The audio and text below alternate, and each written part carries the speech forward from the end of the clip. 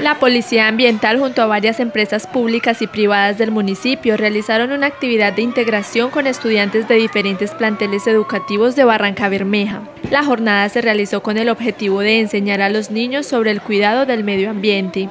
Buscamos intensificar la participación de los niños en, la sensibilización y apropiación del tema de la protección del medio ambiente y los recursos naturales.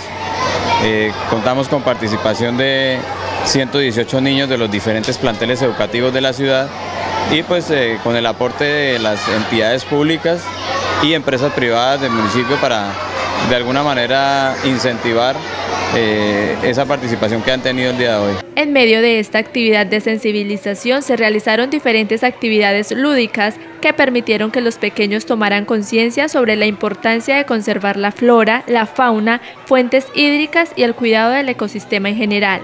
Bueno, primero capacitarlos y enseñarles qué, son los recursos naturales, cuáles son los eh, recursos naturales que se y cómo los debemos proteger, qué es la flora, qué es la fauna silvestre, qué es el recurso hídrico abundante que debemos proteger en la ciudad y en todo el país. Es un concurso que se realiza anualmente y eh, inscribirse, nosotros hacemos una preinscripción con todas las instituciones públicas y privadas del municipio. Eh, como le digo, el día de hoy pues acogieron 118 niños junto con sus padres de familia para eh, enfatizar o promover el tema de la protección de los recursos naturales. Finalmente, se realizó un concurso donde se evaluó y premió el conocimiento obtenido y la claridad sobre los temas tratados.